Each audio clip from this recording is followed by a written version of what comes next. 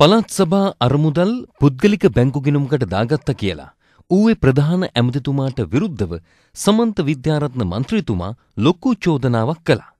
මේ චෝදනාවට මහ ඇමතිතුමා උත්තර දුන්නේ විද්‍යාරත්න මන්ත්‍රීතුමාගේ ගමටම ගිය වෙලාවෙතේ.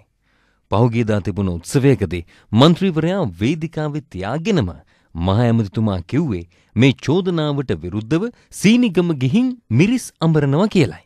මම පළාත් සභාවේ මුදල් වංචාවක් කරලා තිනවා කියලා මෙතුමා දිගින් දිගටම මාධ්‍ය වලින් කියනවා.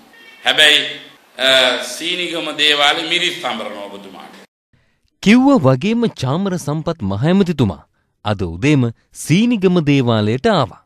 සීනිගම දේවාලෙට එන අයට මිරිස් අමරන්න ඕනෙ නම් ඒකට මුහුදේ ටික දුරක් යන්නත් ඕන.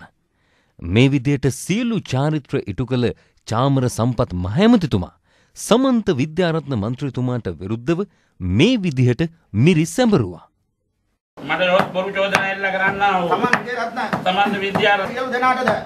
ඒ එතුමාට සියලු දෙනා මේ හිඟුරු ගම්මිරි මේ හිඟුරු ගම්මිලි ඇඹරෙන්නා වාගේ. අමරෙන් නාවාගේ තුන් මාසයෙන් මෙවිට කිරිව නඩුවන් ඒ වායුතු ලබා දෙන මේ ඔබ වහන්සේගෙන් ඉල්ලා. අල්ලු කරලා කලෙහෙම කියනවා ආ